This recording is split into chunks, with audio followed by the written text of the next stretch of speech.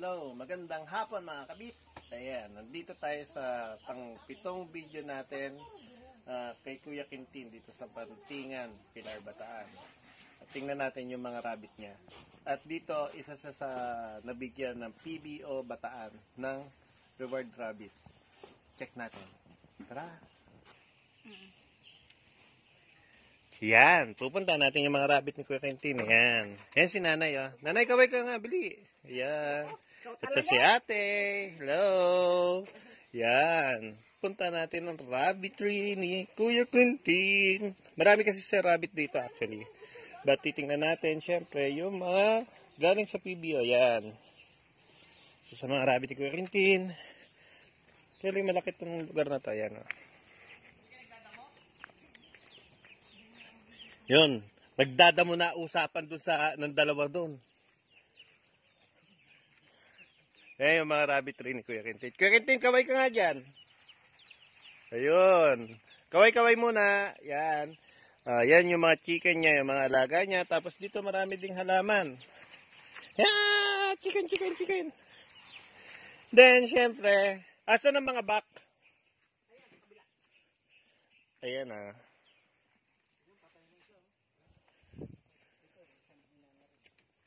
Yan yung mga rabbit ni Kuya Quintin.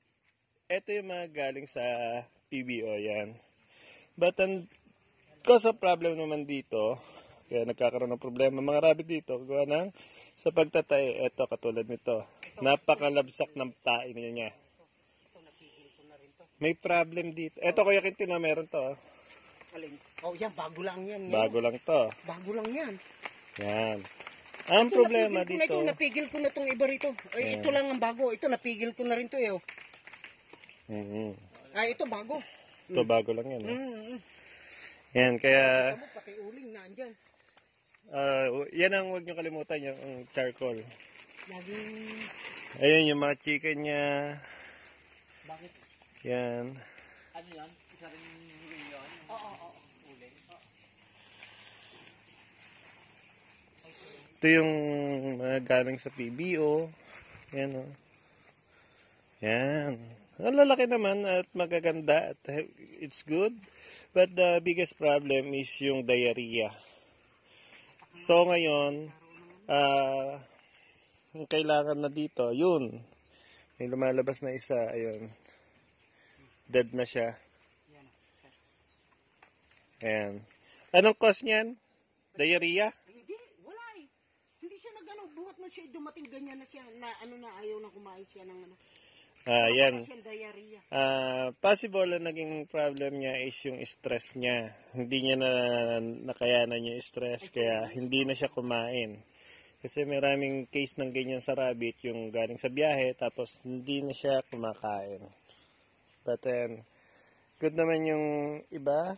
May nagtatai lang. Dito sa area to, wala akong nakita may mange. Doon sa ibang area may mange. But dito, ang problema is nagtatae ang rabbit. So ngayon, paano ba natin may iwasan ang pagtatae? Siyempre, ang pwede nating remedial na ibigay dyan is yung dahon ng kayamito at dahon ng bayabas, then dahon ng saging, then kung wala talaga, may isa akong ginagawa noon, noong ko pa ginagawa, ginagamit to, effective naman, yung tinatawag natin na diatabs or Imodium. Yan, titimplay natin sa konting water yung isang Imodium, yun na ibibigay natin na painom sa rabbit natin. Kaya yun, wala naman tayong problema doon. Then ano pa yung isang binibigay mo? Dahon ng ano? Guyabano? Guyabano, ito ngayon. Ayan, dahon ng guyabano. Guyabano, ah, bayabas, yan, yung dalawang yan. At saka uling. Ayan, charcoal, dahon ng bayabas, guyabano, etc. Kung ano man yung po pwede pa ibigay, yun yun, ano po pwede natin, possible na ibigay natin.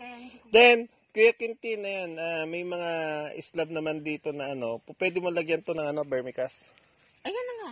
Bermikas na yan. Vermicast na yan. Oo, oo. Ayan, naka-vermi na pala to. Bermi yan. Parang kulang. Saan galing vermi mo? Yan pa yung dati. Na hindi ko alam kung sa... Yan mga tong mga kas, bumabalik ulit. Lagyan mo, la- sa- sali naman nung galing sa akin. Oh, yun. Pagka, kwan, Mm. eh, huhulugan na lang yan. Ayan, ngayon eh. Pambermi talaga yan. Yung langgam na pino, ang sakit mga ga. Hala Yan. Kaya ngayon mga kabit, Oh, i- Eto. Ano, ibababa Kaya ko ito. oo. Video mo muna nga ako, sandali. Magko-close lang ako. Oh, sige, sige. Atras doon, atras. Dito na lang. Okay oh, yan, ayan, ayan. Yan. Oh, kaya mga kabit, don't forget to like, share, and subscribe my YouTube channel. And huwag nyo kalimutan, huwag nyo din kalimutan na pindutin ang notification button para maging updated kayo. Ito na yung pampito. Sus, titingnan natin yung pangwalo. Oh, Bye-bye. hi.